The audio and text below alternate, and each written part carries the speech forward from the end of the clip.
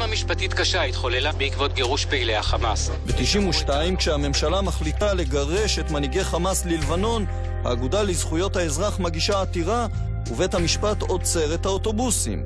הרבה לפני יאיר נתניהו, רבין אומר עליהם אז, האגודה לזכויות חמאס.